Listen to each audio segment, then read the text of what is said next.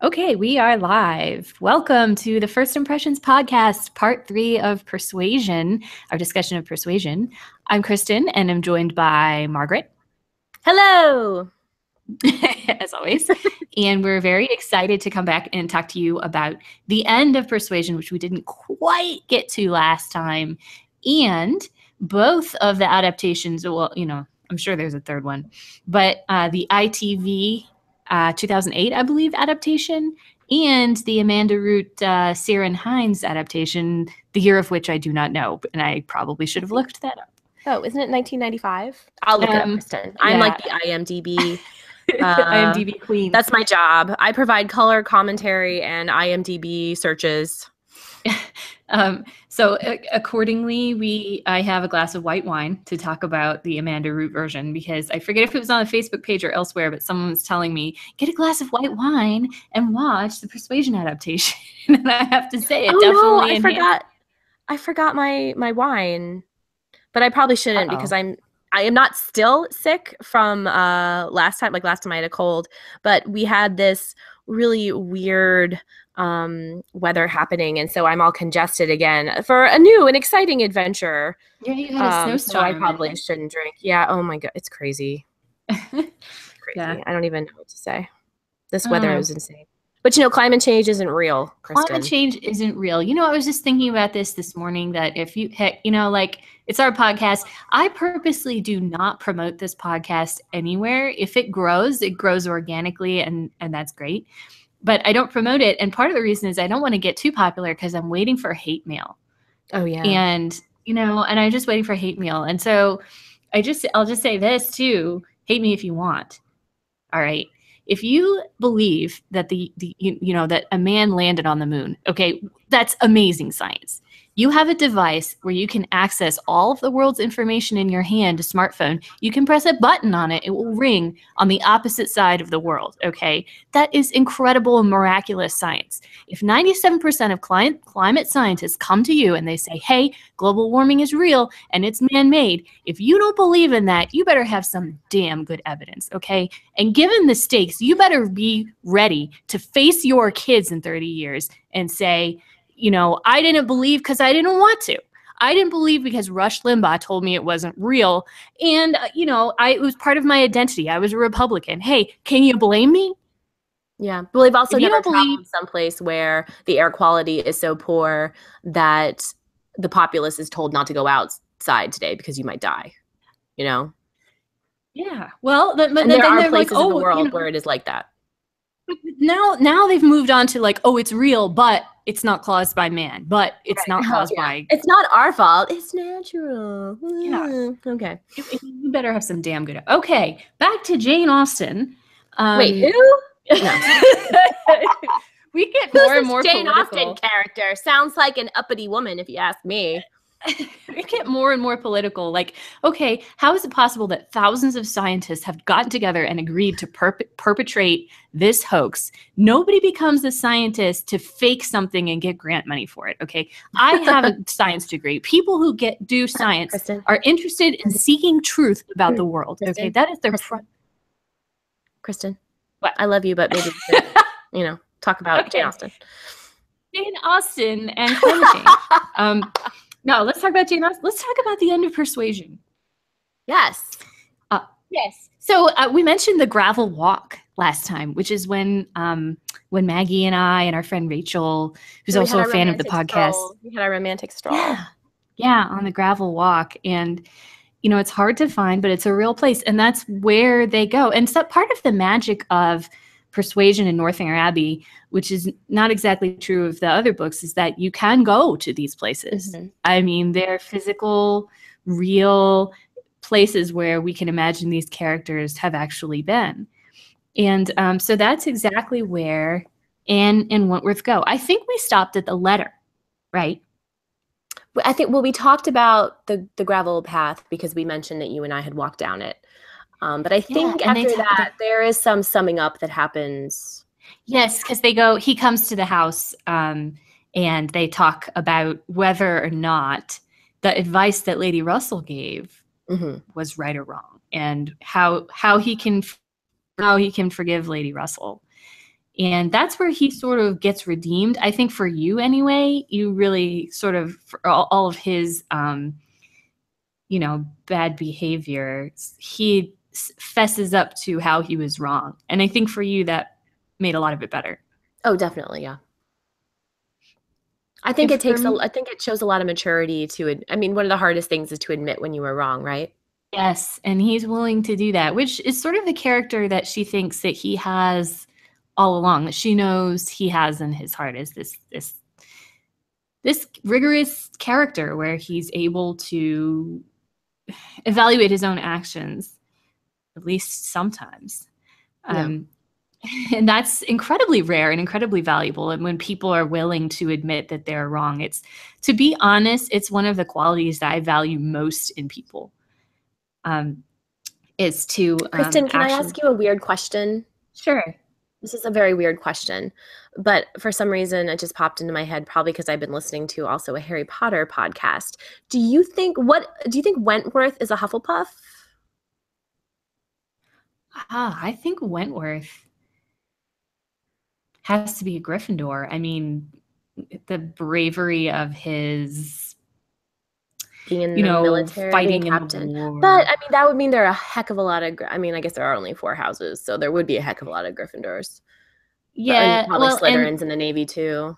I mean, I don't like know. I feel like you could. yeah, but I feel like you can be a military leader and be a Hufflepuff. I don't know. To me, he seems like a Hufflepuff, and everyone knows they're actually the best. Like a hard worker so. and a good friend. He I'm just doesn't remember. seem yeah, I mean, just it's hard to describe because the thing is, is I've been thinking about the houses from Harry Potter a lot. Is that kind of their qualities all start to kind of blend into one another? Mm-hmm. I don't know. I don't want to take us too far down this road because that's a whole other podcast. But I, he comes off as Hufflepuffy to me. Listeners, well, so feel free to post on the Facebook page if what house you think Captain Wentworth should be in. well, he's so exceptional, and I don't know. He's got so much personality bursting out of him. I mean, Mm, that's is, true. Are you allowed well, to be a Hufflepuff and be? Well, I mean, he, you know, he's he's the life of the party with Louisa and Henrietta, yeah, and he's I, he's all about being brave, right? Persuasion. He he doesn't like people who can be persuaded. He's all about being brave in his true. own convictions, and that's, so that's why I think Gryffindor. I did sort of get the impression, though, that his joviality with Louisa and Henrietta was something of a act. Um, because yeah, we did right. talk about how he was like being super flirty in front of Anne to be like, "Hey, girl, look what you missed," and so he was kind of acting more outgoing. Well, he's always been his heart has always been on his sleeve, right? He's yeah. always, you know, because he, she says that quality of sometimes he says a hasty thing, and and you know he he can judge people who um, say something snobbish or unfeeling, like when Mary uh, says something like, "Oh, I haven't been in that house more than twice in my life, I assure you," mm-hmm. when they're talking about Winthrop, and he's right. like, uh, a curl of the lip or whatever right. that Anne perfectly knew the meaning of. He is so strong in his own convictions of right and wrong. And remember, that's and one of the things that she does not like about Mr. Elliot is that she has never seen him react like that. Everything is measured, everything is pre-planned. All of right. his reactions don't seem natural. He's okay. a born Slytherin, isn't he? Totally. Okay, that just occurred to me while we were talking about that. I didn't mean to distract us. We're talking about the end of the no, book. Okay. No, that's all right. Well, um, okay, so they're at the party. Is there anything particular that you wanted to say about what he says at the party? Um, I, I think we could just kind of sum up by saying, you know, she says the advice was good or bad as the occasion, you know, you know, right. as things turned out, as the future brought. Yeah, he could have been killed, right? He could yeah, have been could, killed immediately. He could have been captured. He could have just never made it. I she mean, could have been very well given the best adv- advice of her life. And I think, too, yeah. this point that I made about Lady Russell having seen the elder Anne Elliot. Um, no, I guess I guess it would have been Elizabeth. El- okay, let me take it back. The first Lady Elliot who died, right? Anne's mother made yes. this sort of young, impetuous, bad marriage. Mm-hmm. And I think someone in and he, yeah, stepping that's in, interesting though because he was that she and her Anne's father was rich and titled and kind of a jerk. Oh, yeah. So it's So like, it is kind of interesting though that she would not be like, follow your heart. yeah, yeah, I yeah, don't know. It's very yeah. interesting. I think I think that basically he is completely correct when he says, "Look, you never know what's going to happen. You could have ended up giving the best advice. We know now that I'm super rich and fancy and popular that you know she should have married me, but there's no way to know." And like I said, I think that shows remarkable maturity on his part to not hold hard feelings. Also, he knows that Lady Russell is one of Anne's best friends, and he wants to bury the hatchet, right? Yeah, which is nice of him too. uh, Which is very big of him too. I mean, we got to give him, you know, credit. I have to give him credit where credit is due, you know. Yeah. And so, you know, I'm trying to think what happens if anything else happens. They get married, and then the end of the book is talking about how happy they are. And what happens to Mr. Elliot, Kristen? Oh yeah. So Mr. Elliot, um, it- this is such a good twist too, in that um, Mhm. When Austen talks about not a twist, but when Austen, talks about the futures of her characters, she sort of like leaves it up, like who knows what will happen for these characters in the future. But he takes Mrs. Clay and um, establishes her in London, sort of like his mistress. Um, so that she Mhm. can be, she can get her goal, which is to be ca- cared for by a wealthy man. She gave up uh, Sir Walter, and um, Mr. Elliot had no reason to hang around Sir Walter and Elizabeth anymore because his goal was achieved of making sure, you know, they wouldn't, he wouldn't marry Mrs. Clay and have a baby and disinherit, you know, uh, um, The title. William Elliot. but yes. isn't that Um, crazy? like that to me, how manipulative and plotting to be like this woman could maybe marry this guy and could maybe have a son and could maybe make it so I don't inherit. So I'll just make her my mistress. Yes, and And it's just it's just like a whoa. If you have any doubt as to whether he was a total douchebag. yeah, there it is, and For Mrs. Clay, yeah, and gets what she wants, but still, she is nothing but like a chess piece to him, you know. Well, right. And and but um Austen kind of gives a nod to her genius in worming her way into men's hearts by saying it's possible that Mr. Elliot could be wheedled and caressed at last into making her his wife. And so she leaves that door open and it's sort of funny to think that yeah. yeah, he, Oh, he may in the end she may get the better of him. Oh, that's um, true. Maybe she will end up getting what she wants, which is to be Lady Yes. Elliot, right? Yes, yes. Oh, that's crazy. Those two crazy kids deserve each other. to the mortification of Elizabeth, who was this woman who lifted Mrs. Clay up as this poor widow Yeah. who really had no place in society. So- Remind me, do we find out whatever happens to Elizabeth? Or is it just kind of like Um, she just is, exists? no. We don't ever get a information. Yeah, she's never she never gets married. She's never solicited by that baronet blood that she's looking for. Yeah. Um, That's pretty sad to me. I mean, she is kind of a horrible person, It is. right? But It I I mean, Back is. then, any woman being like left on the shelf. Well, I think too that you made the point sad. like, well, why would nobody ever propose to her? She must have been really awful. But the book actually sort of says that she's holding out for a guy who's important enough to suit her. You know, like she thinks her just desserts are to be solicited by another baronet. And there really just aren't that many of them in the world. And That's those of them that do exist can afford to make their own choice and maybe don't want her, you know. So um it's partially of her own doing, I think, Yeah, that she true. doesn't hasn't been married or hasn't, you know. So um There is space. you know, because yeah, there's space that exists between settling and being too picky. Like just because Well, you don't get children- everything you want in a potential mate doesn't mean that you're settling. It just means that you're being realistic, right? Right. There is no perfect. But, and the other thing too, I mean, when you look at the situations of these daughters of these great houses, of these grand, I mean, she, when, you know, it's the same situation as, as the Bennets. When Sir Walter dies, she'll be kicked out of the house by the next heir, you know, Yeah. and she won't be established as the lady of the house anymore.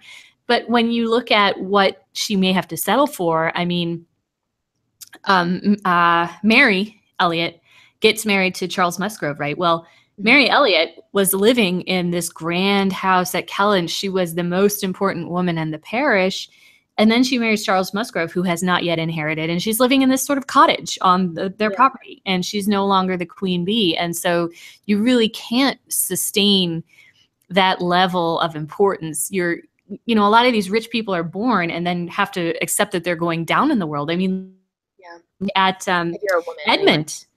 Yeah, well, even look at Edmund, and yeah. I mean, the second son yeah, is true. is grown, you know, rose, raised in this grandeur and has to know the whole time that it's not for him.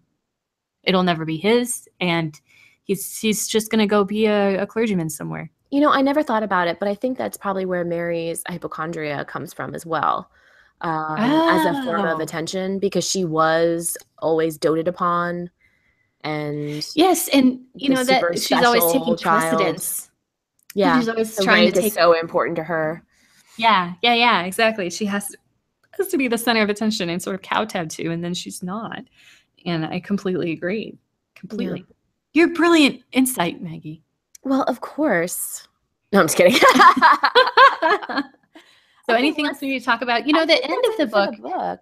Well, and I will just say that you know the end of the book is kind of like um, it ends on a slightly sad note in that they talk about how happy Anne and Captain Wentworth are with all their friends and everything.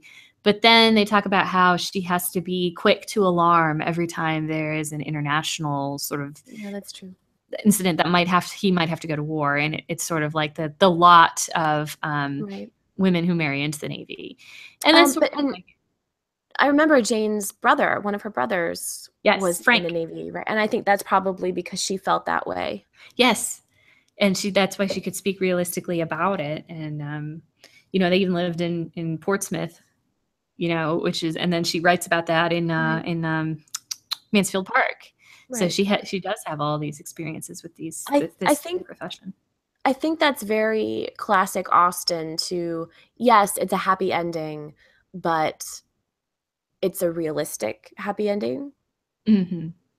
like they get married and they're happy but you know when you are the wife of a naval man, there is always this. And remember, we talked about the shift in tone with persuasion as it was written so much later in her life and how it mm-hmm. seemed much more, um, not dark, but um well maybe dark as you get older maybe you do right. get more i don't want to say cynical but more realistic and just sort of realize that life is a veil of tears or whatever you know and and um yeah you know yeah. The rose colored glasses come off. Yeah, they really do. You, you become a little bit more understanding of, of all the tragedy that could possibly befall you in the world. Mm-hmm. And um, anyway, yeah. So, and you know, I think one thing that's interesting about Austen's books is I sometimes I puzzle over why she ends them the way that she does. I mean, I think what's interesting about Pride and Prejudice is sort of that it ends on a mention of the Gardiners, like you know, like they had been the, the means of uniting them. And that's like kind of the last sentence and they're just talking about the Gardiners. And there's got to be a reason, but I don't know that I can put my finger on it. And um, now I'm trying to think best. how Emma ends, and I can't even think about Emma. They're actually the best. they, they, yeah, we like focus on how they're great people, and you know, those are the, the valuable people that you know.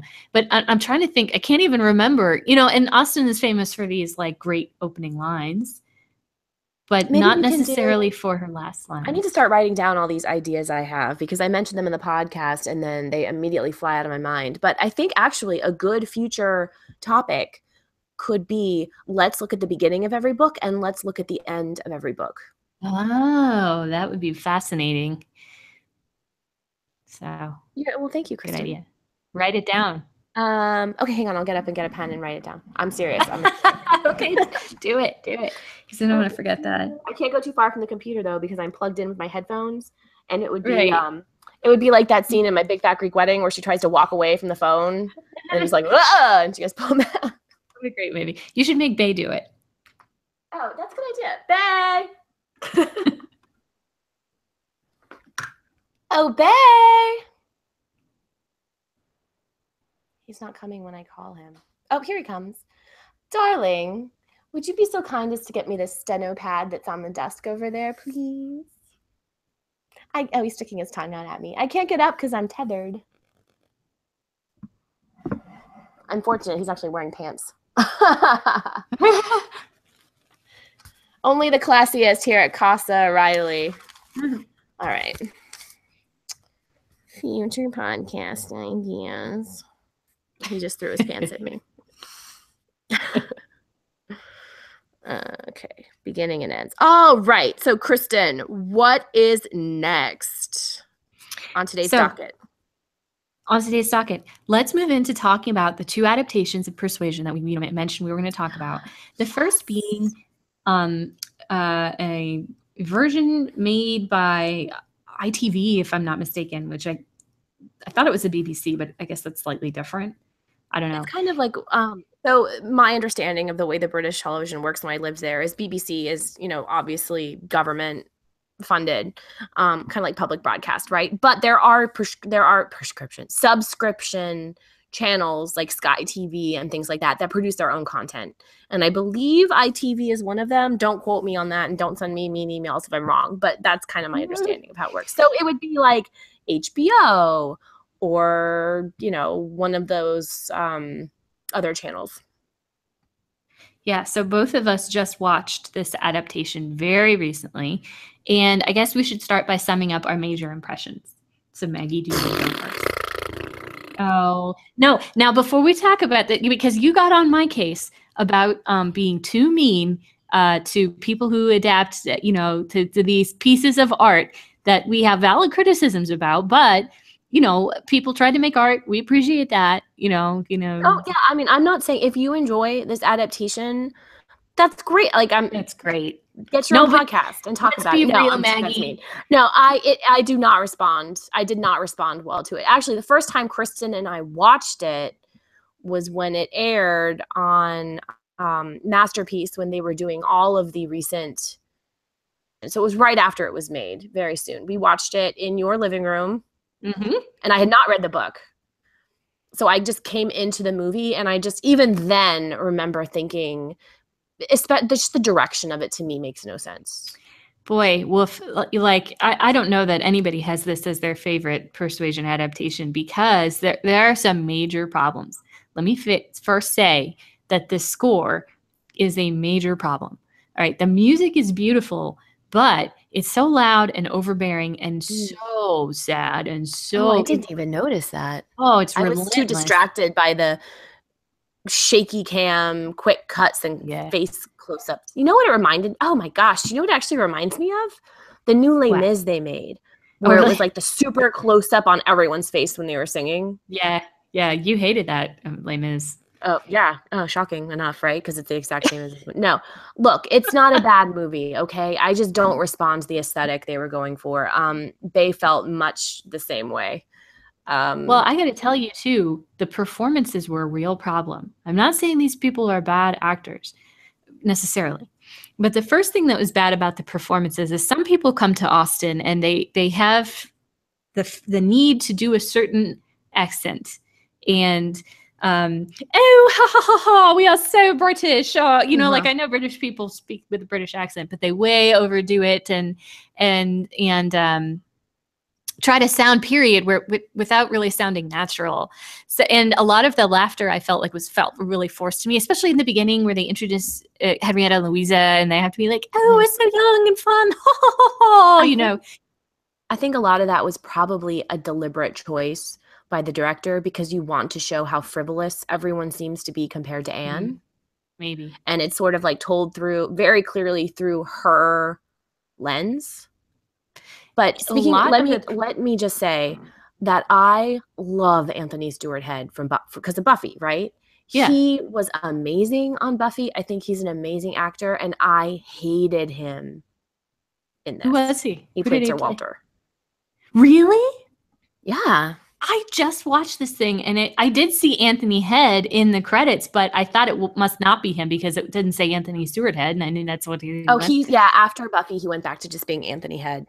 Um, you know, part of the reason is that I I could. Awful. oh, I couldn't find this on Amazon or Hulu or whatever. I had to watch it on some random, it wasn't even YouTube. And I got the quality was so bad that I couldn't even really see the people's faces that well. So I think that's why I didn't recognize them. But that's oh. wow. Well, and a lot of the performances were so flat. Um, a lot of the deliveries were monotone they weren't animated and that was going to the fact that like oh it's supposed to be a somber tone but yeah, um, it did feel like everything was gray so gray, everything was gray right? everything was bland and sort of blank and i, I guess I mean, as you said, I think that was a conscious choice because we're supposed yeah. to feel, but we're not supposed to feel relentlessly sad throughout this whole yeah. story. Yeah, we no, are totally supposed agree. to feel the life and the fun. Um, to a certain extent of the characters and they're supposed to be uh, personable and they're supposed to have their own personas. I mean anne you know and and we can um we can talk about anne and her portrayal too but uh, that was what made it so hard for me is that nobody was fleshed out and yeah. in living color. And so it wasn't fun you know and we spent yeah, all this time just to me anne yes anne has regret in her life but she is not an unhappy person yeah, I think it's fair to say that she ha- harbors a pain and unhappiness in her her soul, but yes. I think her she's also extremely strong and is yeah. always trying to um, just take comfort in her duty and the knowledge she's done her duty, take comfort in um, what she can, which to be fair is scant. Uh, you know, but for example, loving the little boys and the mm, little yes, her you know, and she loves Lady Russell Pardon me. Yeah. And when she sees Mrs. Smith, she's completely happy about chatting with her and catching up. Um, I don't know. I just felt that adaptation did real disservice to the novel. To, to Anne, yeah, she's uh, she she has a source of inner strength, which um, which is Sally Hawkins. Is that the, sorry, pardon me, I'm coughing. I'm sorry. Um, I don't remember. I'll look it up. I think it's Sally. Um, Sally. Hawkins. Oh, so Sorry, Kristen. That's okay. Um, I will look it up. I thought that she was fine. They, his response to her was, quote, she's a babe. and I found that really shocking. I mean, she's not unattractive, don't get me wrong, but that character it's not supposed to you're not supposed to I was just like, are you high right now. Like I did not. That was very strange to me of, that he would be like, "Oh yeah, she's hot." I'm like, okay. Uh, now I'm questioning my own. um, yes, Sally Hawkins, and let me tell you that in real life, Sally Hawkins is completely lovely. I mean, she. But they just made her look in that production I don't know. It's just really sad all the time, I guess. Was, but yeah, exactly. I didn't think the problem was necessarily here. Or look, but they always had this opportunity for her to turn away and look devastated. Or when they go to Winthrop, she has to like, Charles, leave me, and like she cry. Juan, you know, yeah, Juan, and she's always crying, and mm-hmm. that's not.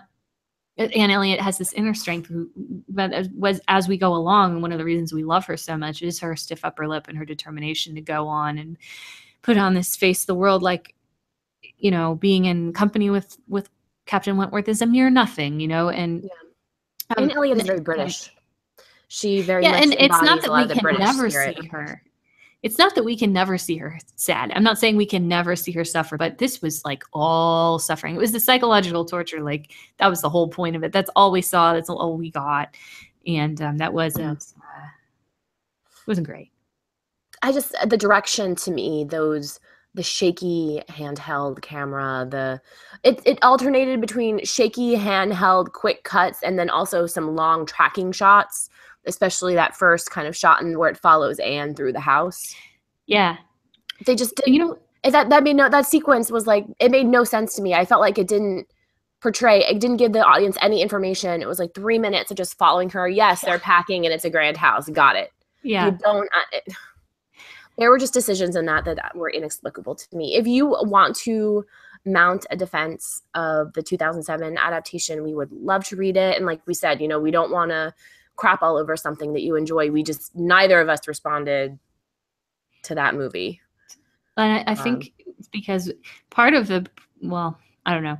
Uh, we saw the Amanda Root. At least I saw the Amanda Root adaptation first, and part of it was that I had expectations for the way that it should be, mm. perhaps. and was disappointed. But um, truly, I think if I had seen this movie with no reading of the book, with no having seen the other adaptation, I don't think I would have responded to it. I just can't. It was relentlessly sad, and yeah. Ooh, I did me. like the Captain Wentworth though. I thought he was pretty good. He was dreamy. Yeah, right? he, well, he was a really mean, and he never showed any like lightheartedness either. And they had th- these weird exchanges, especially between him and Captain Harville, who are supposed to be friends. And they had these weird, tense exchanges where they're almost yelling at each other about mm. whether or not he's betrothed to Louisa, or people think that you know he's it, honor pledged to Louisa, and the delivery that um, and sort of mean and and and and he's so mean to Anne at the beginning where he's sitting there at the Musgroves and she's there and he's like, I only want a woman of strong. Oh, they take yeah. the they take the dialogue that uh, he says to Louisa and Anne overhears and they put it direct so that Anne yeah. is sort of the target of it. And it is way mean. I mean, it is very pointed. And he, you know, he almost never smiles. I, I just feel like I'm not a, not that thrilled about her and him and don't necessarily understand why she's so into him. Well, he is um, hot. um, can I say something too? Just this is a little thing, but in both adaptations, it starts with the servants putting blankets over the furniture, which doesn't make sense to me because the Crofts are coming to inhabit the house and will be using the furniture. Yeah, I wondered about that too. Maybe it's just kind of like a politeness thing, like let them feel like Maybe they're, they're coming into were they close- almost blank space. I don't know. Were they closing up a wing of the house? Because that's the only thing that would Maybe? make like Beauty and the Beast style. yeah, here's the thing though. If you're gonna do that, make it clear. Yeah. um, the audience shouldn't be caught up in details like that. Yeah. Well, maybe I was just watching. Maybe I just know too much. You know, maybe a normal and uh, probably a normal viewer wouldn't think that much of it. Oh, I thought you were going to say normal person. Like Kristen, you're normal ish. We have to talk too about, oh, thank you. I'm not that normal. we have to talk too about the decision which was made um, to the way the letter was done.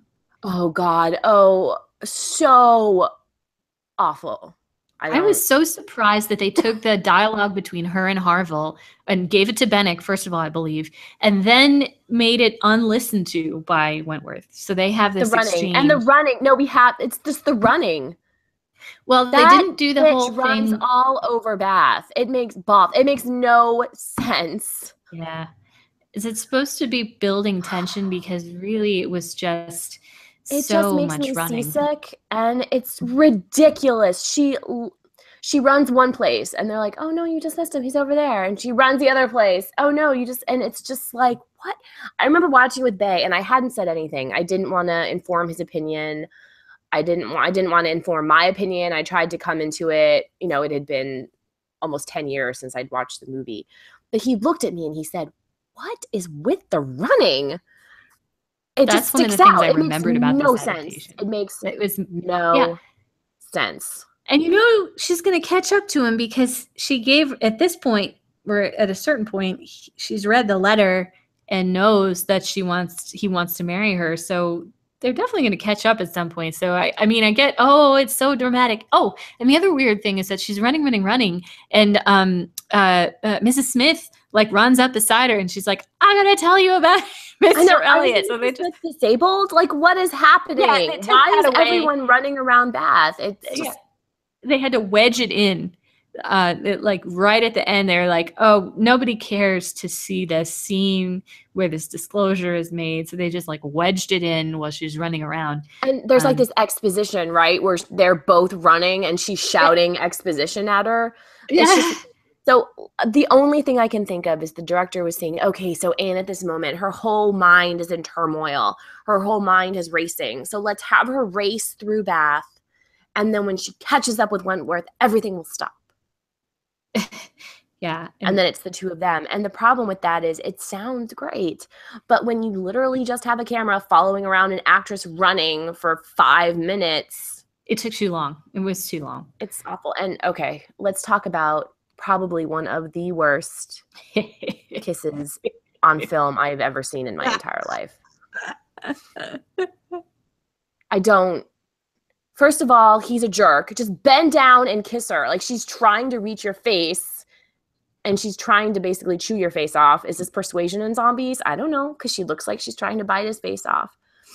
This is one of the problems I have with a lot of Austen adaptations. Is directors are like, okay, they're super versions. They've never kissed before. It's got to be the most awkward. They got to be scared of it. They got to be like not sure how it's going to work, and so it's got to be excruciatingly awkward. They sort of did it in the Gwyneth Paltrow, Jeremy Northam, Emma too, where they're like, uh, uh, uh, uh. That was just like, come on. a little like kind of tentative, but this was like she's hanging up there trying to reach his lips, her mouth working it was so uh, just, yeah, even Bay was like, "This is awful," and I just I can't see any. Again, if you really if you think that's a beautiful first kiss, I'm really sorry. I don't mean to say this to say that your you know that your opinion is wrong, but for me, I just don't see that as a romantic well, end. It's just well, um, it's perplexing. If if all had gone well with the director's intentions i think we would have been so wound up and so uh, passionate and desiring at that moment that drawing out the kiss would have been this exquisite agony of oh my god they're gonna kiss. But that's you know, not what happened. the drawing out but the fact that she's working her mouth yeah. up and down makes it weird right? It's not just me is it no, it's not just you. First time I kissed a guy, I like kissed his nose on accident. Aww. We were in a dark tunnel.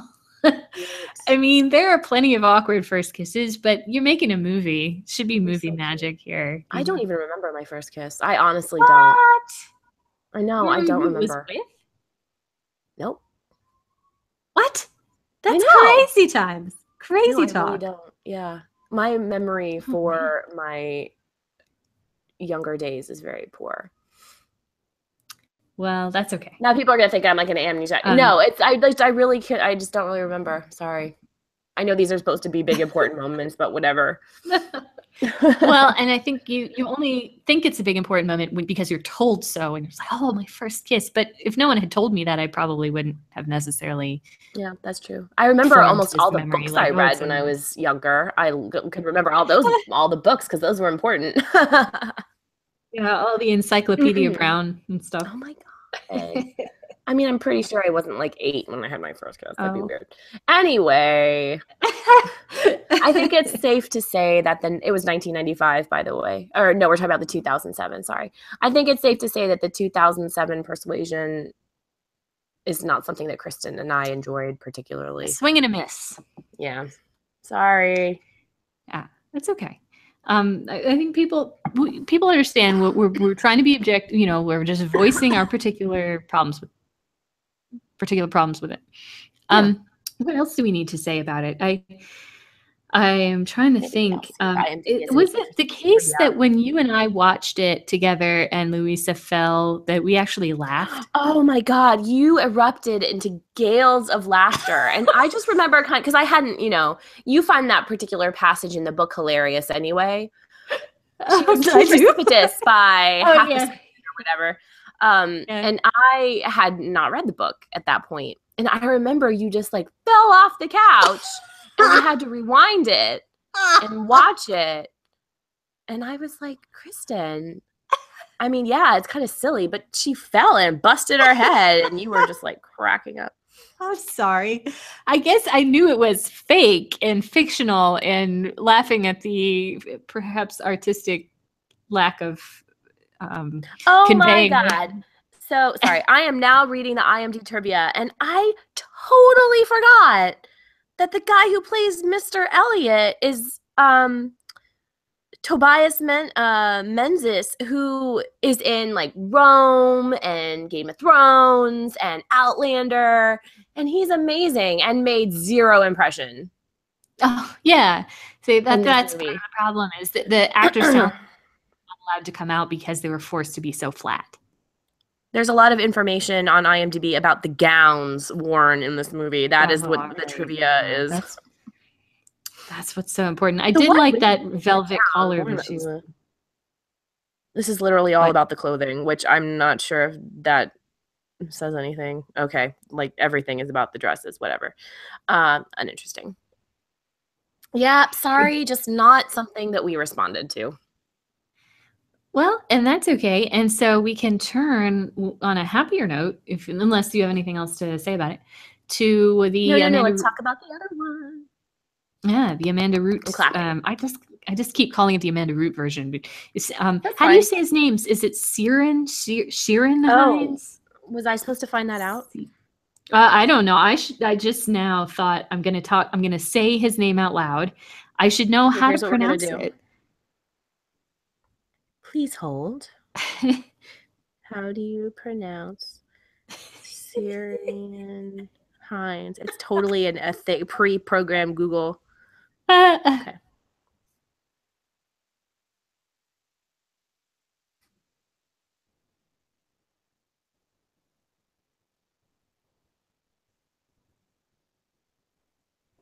I don't hear it. Kieran Hinds. Kieran, maybe. Kieran. It's Welsh. It's Welsh, which is basically impossible to pronounce anyway. I had no Um, idea. Yeah, people have put this on YouTube. Is it- Kieran Um, Hinds. Yeah. Kieran. So, So let's just go with Kieran Hinds. If we're wrong, we apologize. YouTube says it's Kieran.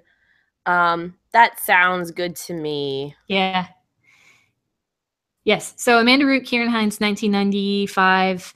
Highly recommended. I think it's fair So to good. say. Oh my gosh. So I basically had the opposite experience as you did. You had seen this one first before the 2007, so you had high expectations. I saw this one recently after the 2007 and had very low expectations, but I loved it. I didn't like it at when I saw it like 10 years ago and I, I couldn't even tell you now why I, I didn't because I have watched it now, you know, recently obviously and really did like it. And I have to say, first off, let me just say, uh, Kieran Hinds' performance really helped me uh, picture, understand, empathize with, sympathize with uh, Wentworth. Mhm. Far better He's than great. I, did great in book. everything I've seen him in. But I'd never seen him really, other than Jane Eyre. When I mean, let's be honest, Rochester is kind of a dick. Oh, Um, yeah. I'd never seen him as kind of a romantic leading man, but he he was great. He was great. And He was great. Everything about this movie, I loved. I liked everything about this movie. I thought it was in the way that he um, portrayed Wentworth as a man of uh, deep character, lively character, um, that dinner scene where they're all together and he's talking Mhm. about yeah. um, how he would never have a woman on his ship. You know, he's funny, he's outgoing, and clearly feels deeply. And, um, you know, there's this exchange where they talk about the year six, and he the sort of asp when he The was set asp. for the asp. And he's like, Well, I was anxious to get to sea. And Admiral Croft is like, Well, if you didn't have a wife, of course you were. And he's sort of like, Yes, but I had no wife in the year six. Yeah. And sort of looks at her significantly, which, which is a do still, I still think it's kind of mean.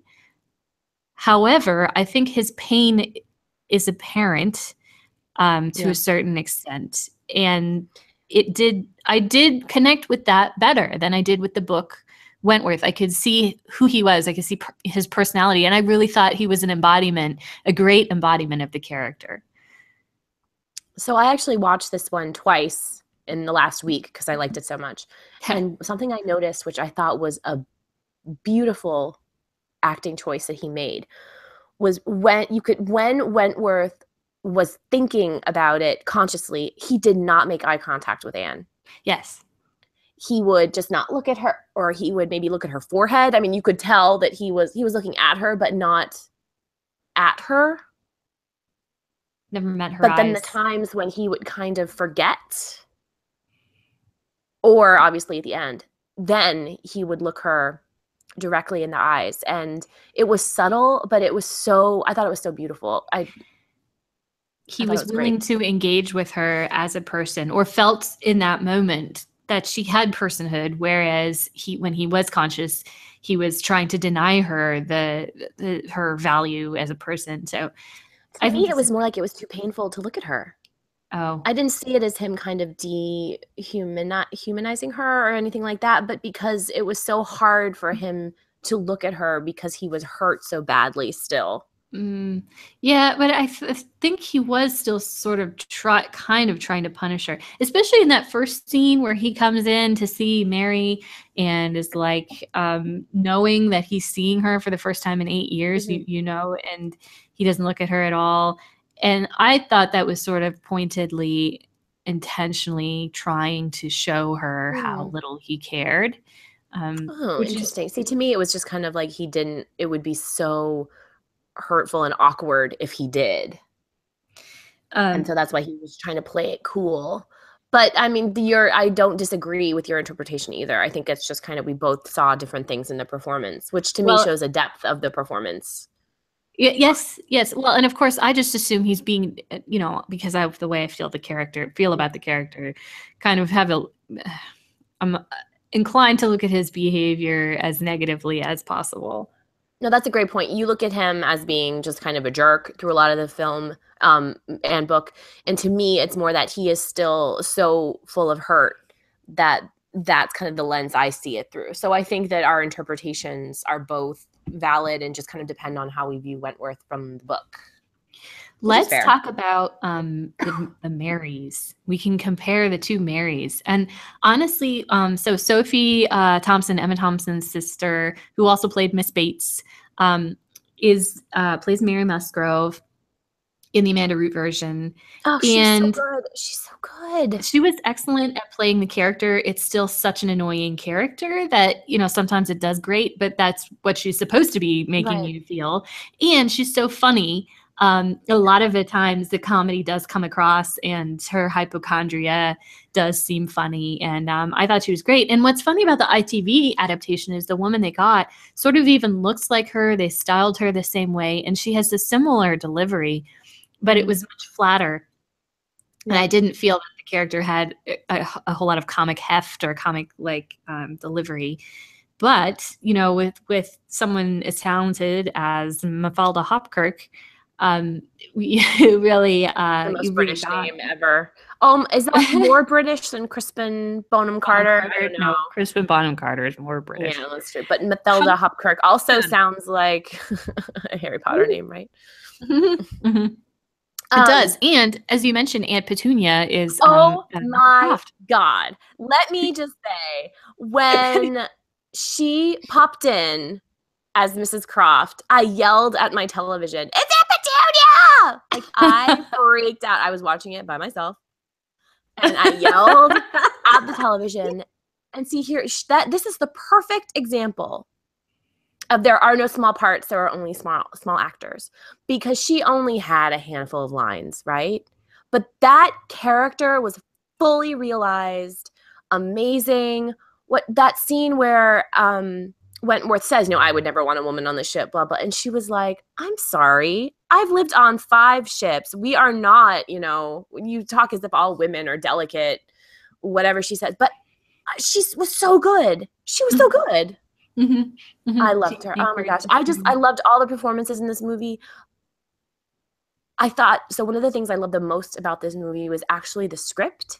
They left in a lot of small moments from the book that you could easily cut. Um, the scene at Uppercross where everyone is bitching to Anne yep. about each other, yep. but they leave that in, and you learn so much about those characters, and you learn so much about Anne. Yep. She passively listens. She always listens. She passively listens, but you notice that none of them are actually talking to her. They're talking at her. Yeah. And when people talk at her, she just kind of sits there and listens. But when people talk to her, Amanda Root makes Anne kind of come alive. Yeah. Yeah. Uh, sorry, I could just go on and on and on. I love this movie. And but the script left in these moments that let the characters and the story breathe. If that makes sense. Yeah. And it made everyone and the world and all the things feel so real. This version, actually, this adaptation and the Northanger Abbey, which both have substantially take place in Bath, I don't think it's a coincidence, but they both to me feel the most real of any that I've seen. Those they look did, like real people um, in a real Regency town interacting with one another in a real way. This is um, bouncing around a little bit, but what did you think of the decision when they finally do come to an understanding of having like the parade, like the circus? Okay, so that I remember the first time I was watching it, I was like, and now there's a random circus. Okay. but then as soon as I started thinking that, I thought, no, this is perfect because it shows that the world they live to them this world is full of the ridiculous and the loud and the crazy and these two people on the street they have this intimate moment and then they turn around and walk the other direction I, and I, I thought that maybe agree. they lingered too long on the parade after they had left. Because I guess if you're gonna have a big set piece like that, you want to show yeah. it. But yeah, I absolutely yeah. understood what they were saying. It was like, look at all of this insanity going on around them, but these two people, that is all they care about.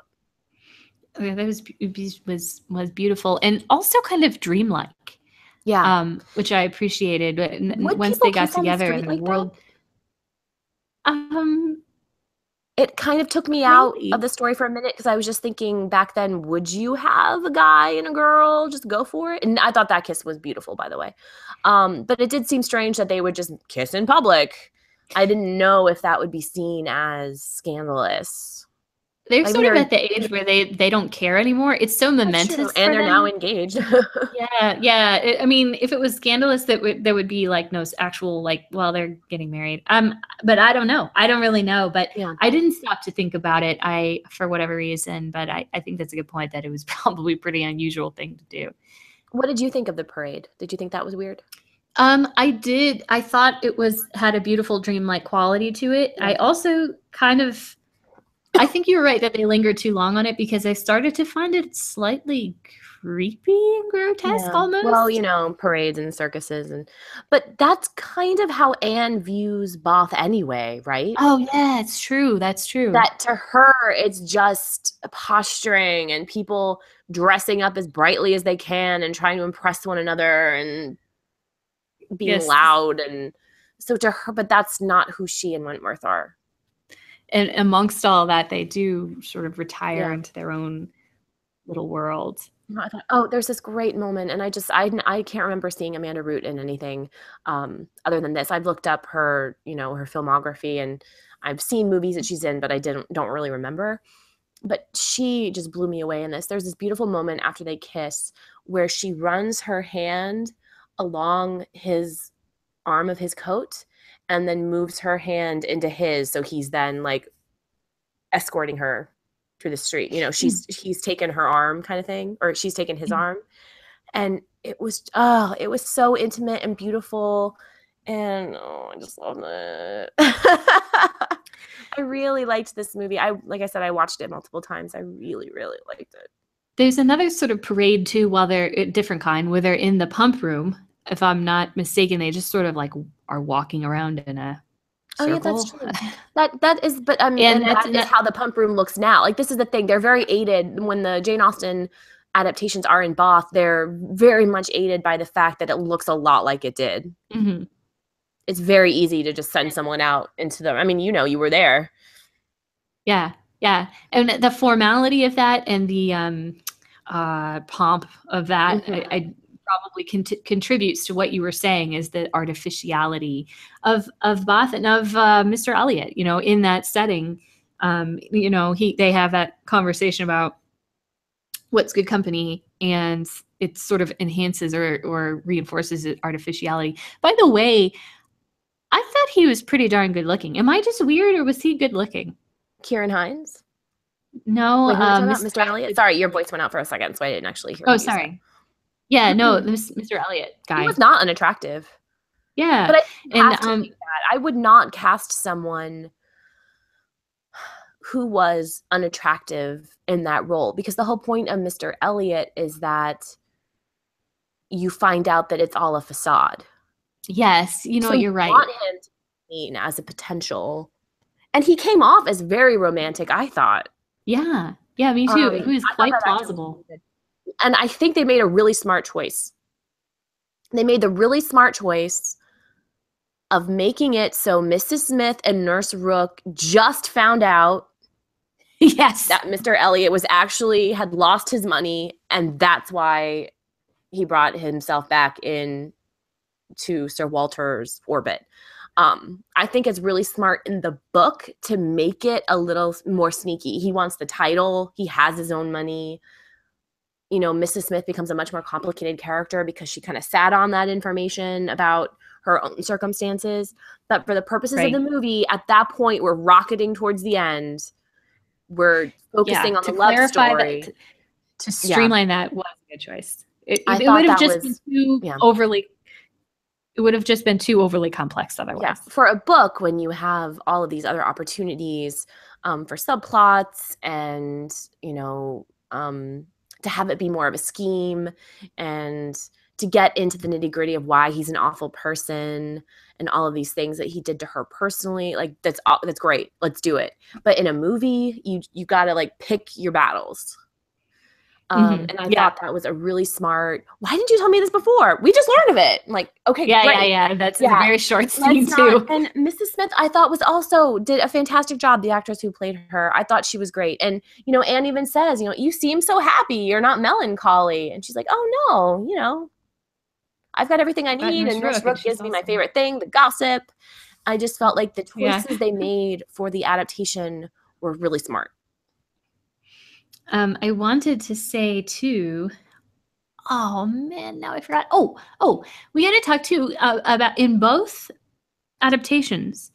They took um, something that happens in the canceled chapters of Persuasion, which is the the um the big uh sort of right before they get together the thing that precipitates their you know declarations of love is that both of them come to Anne and they're like we hear you're getting married to Mr. Elliot. You can live in Kellynch if you want. The admiral told me to yeah, tell that's you. right. which is um you know they they they thought that was romantic for whatever reason. They wanted to include that. But what really would have happened in those situations is that it would have precipitated this declaration of love the way austen actually wrote it. Because wentworth would have figured out from her answer that you know she and elliot were not engaged. And sorry Bless you. she, she and Elliot were not engaged and immediately say, Will you marry me and I love you? But it's okay. It, the weird, what I found weird in the Amanda Root adaptation is he comes to her and he's all, he's doing his dramatic Wentworth thing, um, which super does. formal super Su- well, I he, super- that was really good right again looking at her forehead not looking at her eyes because it and was obviously so awful all worked up obviously all worked up and and and you know hot and bothered about it flustered about it um Mhm. And rather than saying, dude, I don't love Mr. Elliot, Amanda Root just goes, why does everyone ins- assume? And But then, runs gets away. interrupted no doesn't miss doesn't lady russell come over to her and it's like you gotta come over here right now and like basically pulls her away Well, no. Well, yeah, I think that happens, but i it did not come up i mean yes as a modern viewer i'm like girl just tell him yeah. but as a for the purposes of the movie her being like uh, uh, why does everybody think and then being interrupted i i thought it was fine it didn't bother me okay. It, it did kind of uh, bother me. Yeah. But you know what? That's probably why. And that's also, like you were saying, it's back to that thing that Jane Austen does so well, where she doesn't fall into the sitcom misunderstanding Uh, plot movement. And that was a choice the filmmakers made. So Mhm. that as a flog, I kind of lay it there. I mean, that's not at Austen's feet. That's at their feet No. for putting that No. in. Um, No. and like you said, she would just say, "Oh, oh no, I'm not marrying Mr. Elliot. I still love you." And then You know, he's like, "I still love you too." It um it one thing we didn't talk about and i wish i had mentioned it is when we were talking about the end of the book one thing that um one line that i really loved stop me if i talked about this before but anne is sort of assured by wentworth that she's still just as lovely as before Mm-hmm. and he says something like little you know little could you know that to my eyes you could never alter when really she remembers what he said at the beginning like i've never seen someone so altered as she i would not Right. have known her again and she thinks to herself or she's really glad to know that his admiration of her beauty is sort of an effect of him falling back in love with her rather than the cause because he Yeah. didn't see her as beautiful when he came back to see her again for the first time. I always thought him saying that he'd never seen someone so altered was because he was just lying and being a jerk. Well, yeah. Well, and he in the book it says he spoke as he felt without any thought of it getting back to to Anne. So it seems like it was one of those things he said off the cuff. Um and so, you know, sometimes when you remember Yeah. someone in your memory and you see them again, you're like, "Oh wow, the- you know, the years have changed them." It doesn't necessarily mean you find them or you Or will it's one find of those them. things that he told himself Yes. also. Yes. Yes. Yes. Like, Exactly. oh, yeah, you know how we tell ourselves the narrative. Like if you run into your ex-boyfriend, like he might objectively still be really cute, but you're gonna be like, oh, he looks like shit, But you know, yeah. so that you feel better. yeah, yeah, yeah, exactly. Typical Wentworth. But one of the things not. in the canceled chapters, yeah, it is. Um, in the canceled chapters, that it the the she leaves him with the assurance that she had gained in personal beauty. That's the way Austen wrote it the first time, what does that mean? and it becomes much more realistic in the second ending that she wrote, where it's um just like to my eyes you could never alter, you know. Um, rather than being like, and you're twice as beautiful as you were You before. know what? you know, like- to me, that's so romantic. Like, as a woman, you know, I know, any one of our listeners who is a woman knows our self worth is not wrapped up in our appearance. And objectively, we know that. But subjectively, we are constantly wondering if we are attractive enough, right? I mean, I'm just dropping truth bombs here. If you to- asked, if you like, Margaret, is your self worth wrapped up in your appearance? Absolutely not. I'm a person. I am worthy no matter what I look like. But I still sometimes catch a glimpse of myself and I'll be like, uh, blah, blah, negative thought. And then I get upset about it. So when when I'm like, oh, I feel gross, I feel fat, which we shouldn't do, but we still do. And Babe will be like, yeah, you're beautiful. I love you no matter what you look like. And I know he means it. It is so romantic. So I think Wentworth saying that is just and him and I believe him. Oh, it's so it's so romantic. Like Yeah. even when you are old and shriveled and you know 90, I will still think you are beautiful. It's just like, oh my god. There is that scene too in the Amanda Root version where after Mary drops that bomb, what Captain Wentworth was not very gallant by you, Anne. God, she's such a bitch. There's that Yeah. scene where Amanda Root is sitting in front of the mirror and sort of Oh, yes. Oh my god, I love that. That was something I caught the second viewing. Where Mary drops that and she's just like, "Oh," and then they just show her kind of staring at herself and looking just like at wrinkles. Yeah. Oh Yeah. my god, that was oh, that was such a great moment because we've all done that, right? Right. It felt no, it felt so true to me, and she didn't so even. real. There was no dialogue. There was nothing. Just Amanda Root looking in a mirror, and you knew exactly what she was thinking. Yeah. You knew exactly how she felt and exactly how she was feeling and how that hurt. And I, I thought it was so well done, so well done. Yeah, I just really loved this movie, and I didn't expect to. It the pace was kind of slow. Like I At the said, they left in a lot of these moments to let the story breathe. Wentworth doesn't even appear on screen until what twenty minutes in, hmm something like that. But it still Yeah. didn't. I had no problem with it. I thought it was great because it's about Anne. Some of want the performances were.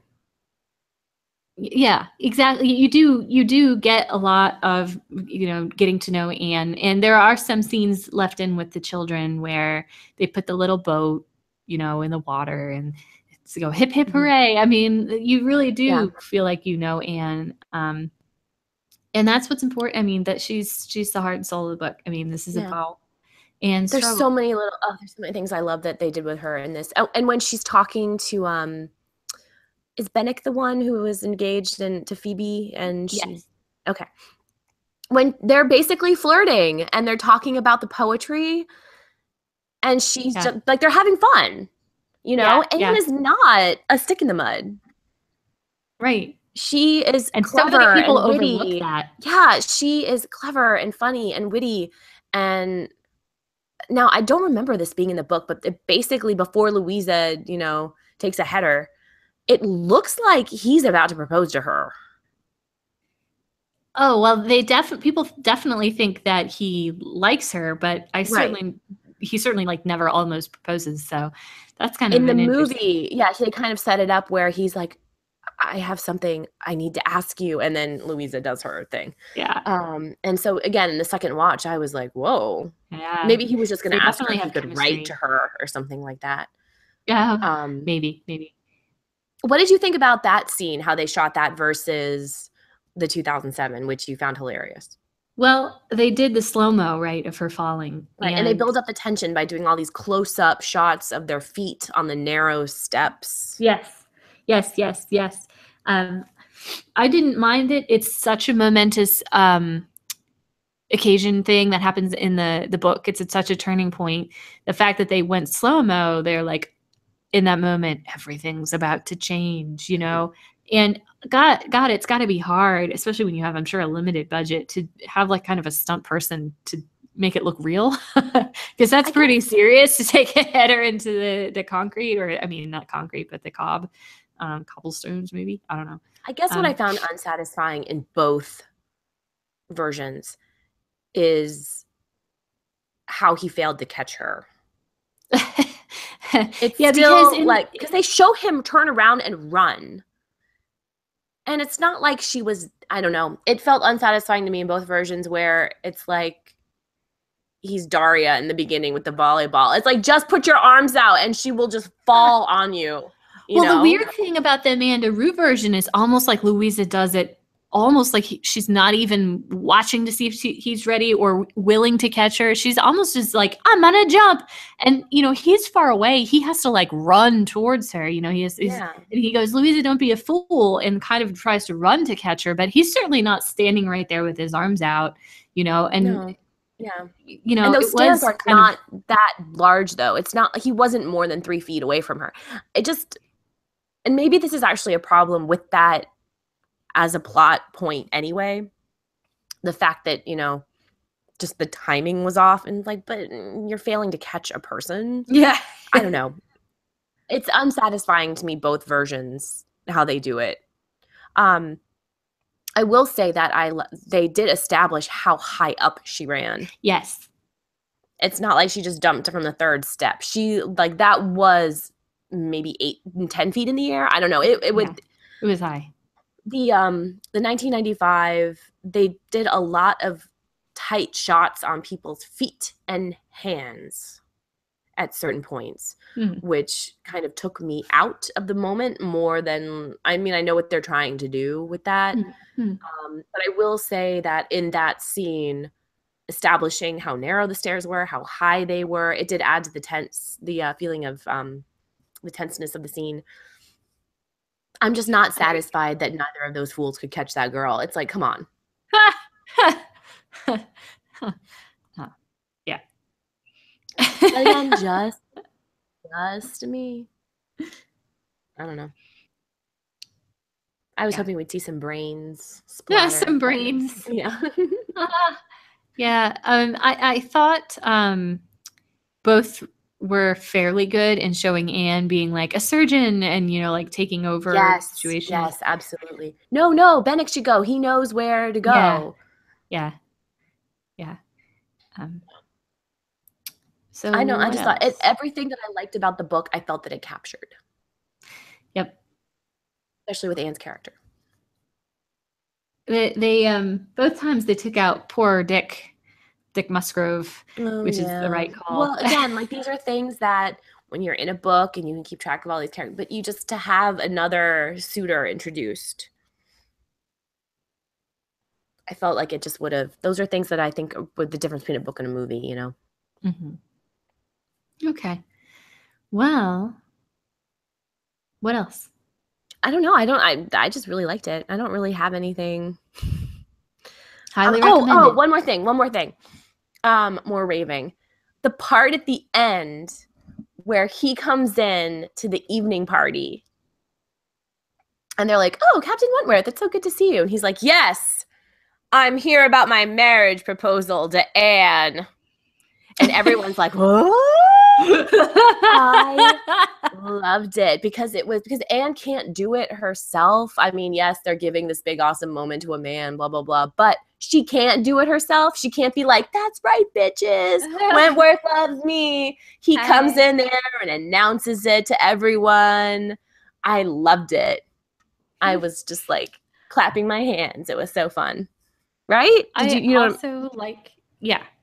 And I, what did you think of when she gets a letter? Okay, so for a filmmaker, it's got to be a struggle, right? To right. have someone read a letter, that's the big climax. And so, um, what they did was they had him start reading it, and her her voice come in as, as she continued yeah. to read it as a voiceover, or maybe it was the other way around. Um, and they were speaking quickly, and I did think it allowed the impact of the letter to come through. And I loved the scene leading up to that when they talk about uh, you know, the Har- Harville's um, back and forth with that. I'm so glad they kept that in, and that was a real mm-hmm. loss in the ITV yeah. one. And um, I, I just thought it was done beautifully. I mean, it helped me to visualize, and vision, you know, everything, and it was romantic. It really was.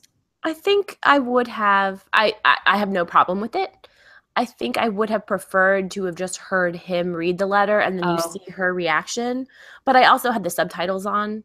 Mm. So there was a lot going on ah. because it was like the subtitles were on, there were multiple people speaking. I was trying to watch her reaction. If I didn't have the subtitles on, I think it maybe would have had more impact. Um, but I thought his reading of the letter was so beautiful that when it started to fade out, I was like, but no, wait, wait. Um, By the way, I gotta say too, I will admit that he is a handsome man, Ciarán Hinds. I came around. Yes, I, he's very handsome in that movie. Handsome, you know. I, I, certainly, he doesn't look like Mance Rayder. you know, yeah, he wears that uniform very well too. Yeah, he does. And you know, they are a little. I had older. an eye for a uniform in my day. I liked a real red coat well enough, uh, I mean, and I do still yeah. in my heart. But um, yeah. What was I going to say? What was I going to say? They're a little older than they necessarily would have been in the book, which is fine. I wonder if that's because they wanted her or they wanted him. Do you know what I mean? For the role, the actors. Oh. Well, and it's also too like um people modern day people wouldn't understand their chronology in which she's 27 or 28 and really is like a spinster um because she would look yeah and it's like, like girl young you woman Maggie So um, I, I, thought that was fine too. I thought they were both, um, you know, still believable and everything. Did you think that Sir Walter and Elizabeth were over the top? You know what? what? I didn't think they were over the t- well. They were a little over the top. However, I didn't hate that um, because they are such caricatures in the book. Um, I really enjoyed that he was a ginger um, for whatever reason. I, I enjoyed never... his costumes actually. Yeah, he yeah, he was, he was funny. Such like a dandy. It was yeah. great. I thought that Elizabeth was kind of. They always had her eating.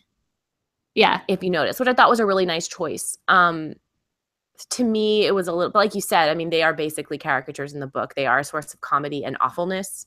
Um, I thought that the guy who played Sir Walter did a really good job. Yeah, he did. And um, I didn't hate Elizabeth. I liked how um, like she would have these little tantrums, which because yeah. they didn't have a lot of time to develop her character and she doesn't have a lot of screen screen time, it did make her seem spoiled and selfish so and cruel to Anne too. So yeah, cruel. yeah, yeah, yeah. And and normal like in the book you can't imagine why she would be so cruel to Anne, but in the you know in the movie you can see this temperament come out where she's just um you know, a basic bitch. and it also is, and it seems weird because she is the eldest, and at least in the book, she's regarded as the most beautiful. But I feel like the actress playing her, there's also a lot of jealousy because mm-hmm. Anne was thought of, thought of well by Lady Russell and people like that, and her opinion mattered. Like with the retrenching, it's like Anne, why would you talk to her? Not so yeah. much as like, well, Anne's an idiot, but like, why does Anne get consulted? Yeah. And I don't. Yeah, almost you know? like the jealousy of the attention. Yeah.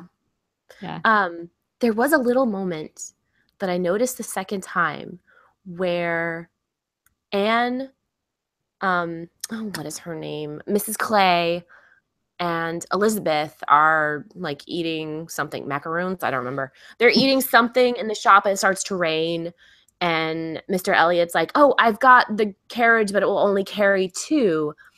And Elizabeth is like, "Oh, Anne will walk."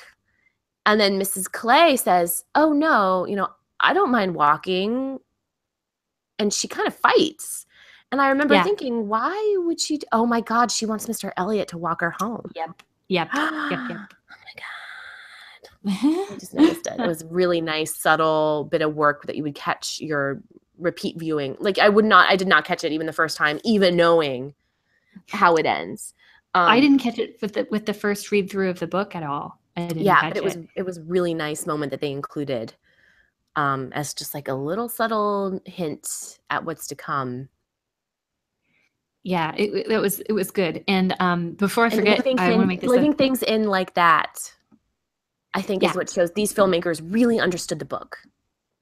yeah, and Austen's little things mean a lot. Hmm I mean, especially in this story, little gestures and little actions mean a lot. But that's true all of, of Austen. But I really wanted to say, I really liked Charles Musgrove in the, this Oh, adaptation. me too. Yes, he was great. He was he was great. I could see him and Anne being very happily married. Yeah, I too. love him. I love him as a character. He Yeah. is is fun, and I know like he wasn't, as they say, like um, not really bookish. And it says like the narrator in the book says like Anne could have really elevated him and made him like a thinking man. Yeah. And I almost grieve for him that he has to be married to with Mary. Yeah. Yeah. But Although you have I mean, to was- acknowledge he did have the insight to ask Anne first. yes, which makes He it did even acknowledge sadder. was more, yeah. makes But it you know even sadder. And I wonder if her being around, um, taking care of Mary or whatever, um, it's weird because it's not awkward between them at all, where she apparently turned down his proposal. So I don't know how strong he really felt about her, whether he was really in love or not. I'm, I'm thinking no, because it's not awkward for them to be around each other. Um, but I the do, quality of their characters. yes. And he's just an amiable guy. You Yeah, know, I've seen that actor in other things, and he is always just extremely likable.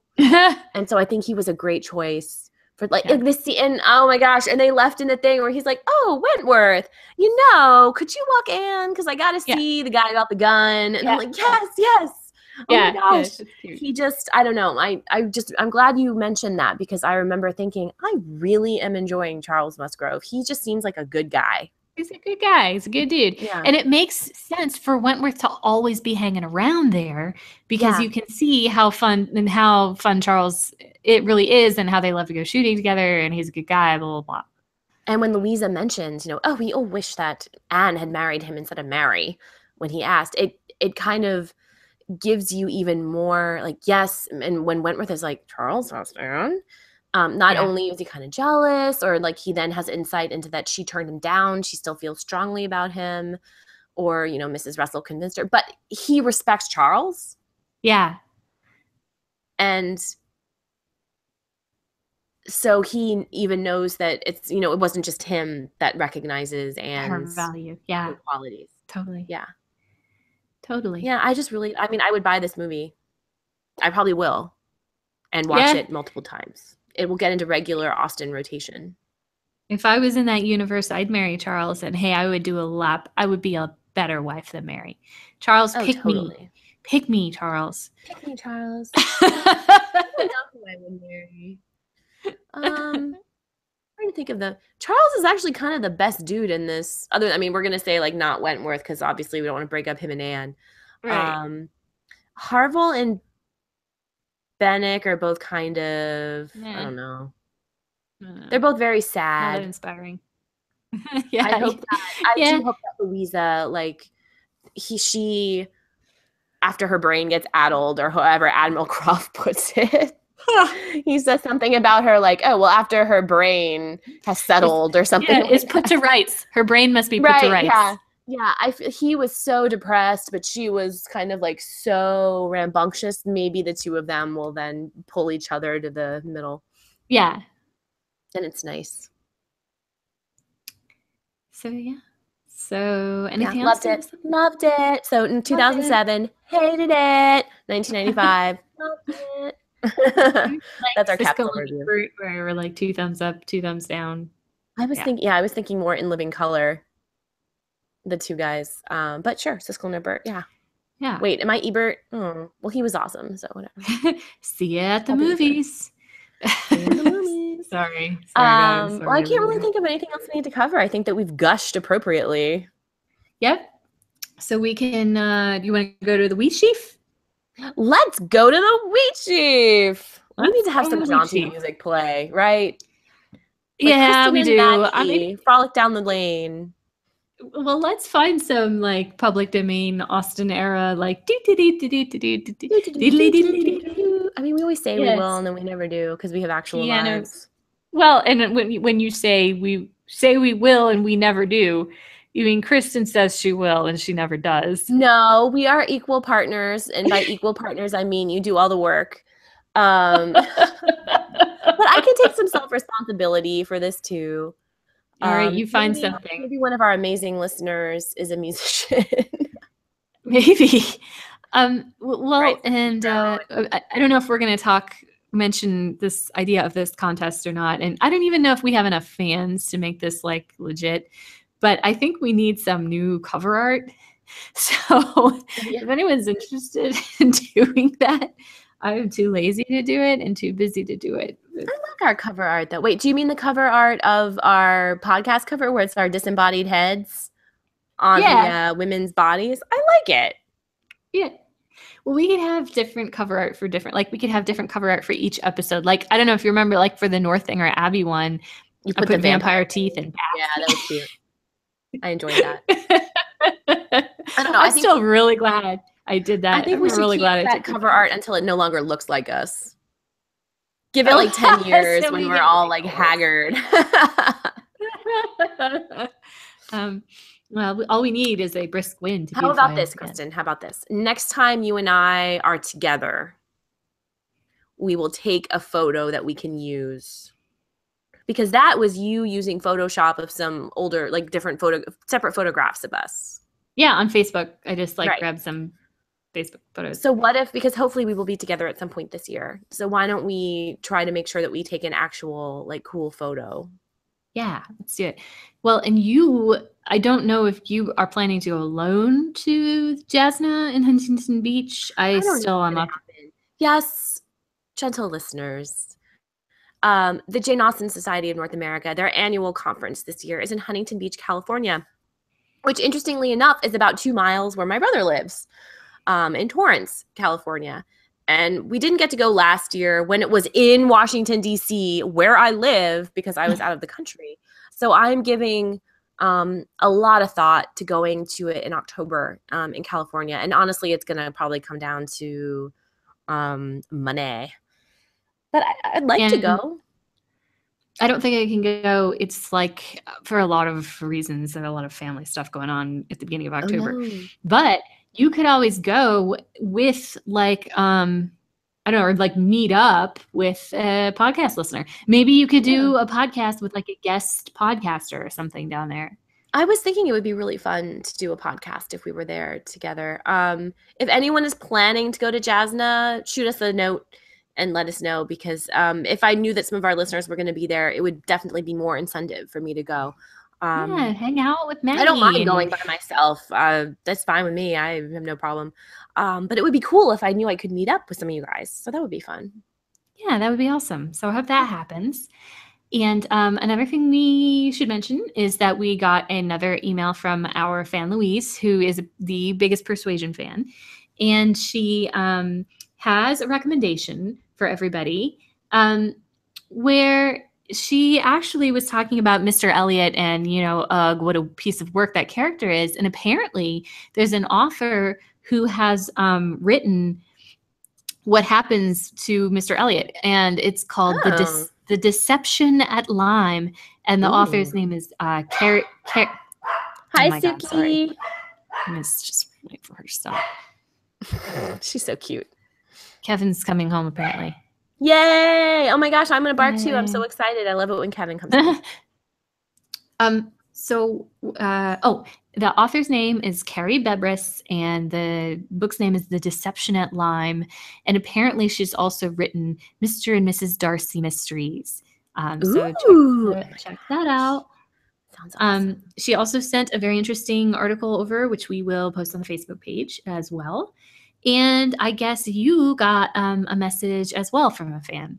I did. Uh, we got a Facebook message uh, from a fan in New Zealand, which made me very excited. And her name is Donna, not Dana. She made it very clear. Americans pronounce it Dana, but please say Donna. So hopefully I'm saying it correctly. Um, thank you so much for your message. I loved receiving it. So did Kristen. We love hearing from you guys. It was very kind, full of praise. Um, we're so happy when you guys reach out and make contact. A lot of a common theme of um, a lot of the things that we get um, is, you know, oh, I had to work up the nerve to message you, or I didn't have anything clever to say. You do not need to say something clever. You, it's low um, stress Low stakes. to email or message us. Seriously, we are just happy. Just say hi. We love hearing from you guys. You kind of sometimes feel like you're shouting in the ether. So it's always nice to hear from you. Please feel Yeah. free to reach out. Um, but Donna sent us a very interesting question that she thought we could answer. Um, she sent it just to answer in the message, but I thought that I would ask on air because I want to hear what Kristen has to say. She wanted to know which Jane Austen hero is closest to your perfect match and which Jane Austen heroine you also feel you relate to most. So, kind of the hero and the heroine. So, Kristen, what do you think? Of the So of hard. the heroes, which one would be your perfect match? So hard. What do you think? What, what do you think? Oh, I mean JJ Field, obviously. Oh, wait, I'm sorry, he's a real person. Um Um, what is his character's name in Northanger Abbey? Kristen, remind me. It's Tilney. Mr. Henry Tilney. Obvi. It would be Henry Obvi. Tilney. because I gotta have I- someone who's a total goober. I would say I would say that the right answer for happiness would be Henry Tilney, um, and I did in fact marry a similar guy uh, in temperament. I I feel, but um, honestly, as far as super crush goes, like the guy I like that I shouldn't like would be Darcy. I am a sucker for getting negged, and uh, to be to be honest, um i write happen to you know do some fiction writing myself and all of my protagonists my male protagonists are kind of jerks which is bad but definitely a thing that some women just find cat like catnip. I um as far as a heroine goes definitely in my younger days fanny price i definitely have an affinity Mm. for her but these days, I really feel like an Elizabeth Bennet, and I hope that's true. So, Uh, my for the heroine, I would say Lizzie because I kind of pride myself on having a snappy response and being able to move easily within society and talk to all different types of people and yes, not have that kind Yes. of awkwardness, but with a core of Elinor Dashwood. Because nice. I, if something needs to be done, I get in there and get it done. It's like, oh no, Margaret, this thing has happened. I'm like, let's fix this. Let's do it. Like, what do we need to do? This is what we're gonna do. Boom. I go into planning mode. Um, and so that's one of the things I actually really admire and hope that I share with Elinor. Um, just want to say about Mr. Darcy. Uh, Mr. Darcy is obviously would be the most popular choice, you know, because he is the romantic hero. I think that Austen will be remembered for forever, with good reason. I think that being married to Darcy would be exhausting. Yeah, I think she. I think she evens him out, though. I, bet Darcy before the marriage would be, unless you could be Elizabeth and sort of help him, because he needs to be helped. I mean, and I think he wants to be helped. He wants to change. You know what? Ain't nobody got time for that. I don't know. I love it. I love guys who Oh. sort of cur- curmudgeonly or mean, but they have a heart of gold. You know, like that's just my catnip. I guess kind of Knightley in a in a way, but I really hate being condescended to. Honestly, yeah, he does that to her a lot. And I think the age difference. Yeah, has a lot. But I mean, Mr. Knightley come is very the age difference is kind of the big thing with Knightley. I think Knightley would respond would when Emma is older after they have been married, Knightley I think will be very different. If that makes sense. Yes. I don't know. I think that one of the things I love about Pride and Prejudice, which not to blow our Pride and Prejudice wad, is that Darcy does actually change through the book. He doesn't mm-hmm, change for Elizabeth. Mm-hmm. He changes as a result of the self realization he has because of his interactions with her. Yes. They both change and people because who are willing to change and grow in response to yes. things being revealed to them is just such an attractive quality. Like people who are willing to apologize, people who are looking right. to evolve as people and trying, you know, to to be their right. best selves. There is nothing so attractive to me. And it's it's not like yeah. I'm going to try to be a better person because I love you, you know, but it's like he truly mm-hmm. does have self he truly changes He's, not because yeah. I don't know how do I say this? Not be it's not really because of his love for her, it's through it. Yes. Maybe, but I fundamentally have a problem with this whole I can I love this guy and I can change change him. him. Yes, that's that kind of narrative drives me absolutely insane. Um and I don't think that Darcy, by the time, by the end of Pride and Prejudice, yes, he has changed. But let's just say, gentle listeners, you and I both know that there is work to be done. Well, she and even honestly, says, "I don't know. I don't know if I would have. I'd be like, Ugh, the energy." she even says he has yet to be learned to learn to be laughed at. So going forward, she knows that that's going to be a task on her shoulders, is to teach him to. Uh, it's okay to be teased and ridiculed a little bit. You know and how to do is, that in a yeah. loving fashion. And this is probably a factor of being 16 years older than Elizabeth. What if she's not yet 1 in 20? So she's 20. Yeah, well, he's only like what a... yeah, but when you get to be older, it's just like by the time you get to be this age, honey, you need to know. I hope this makes sense. What I'm saying.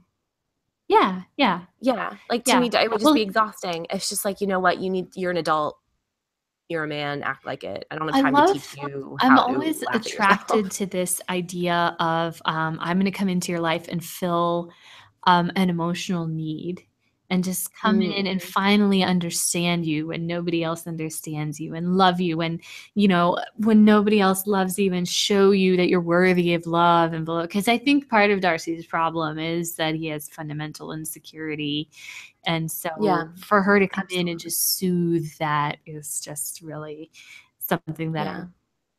Me and i yeah and that's a good point it's just not it, but that's not the same thing as that's just the nature of kind of who she is as a person rather than something that he needs to be taught.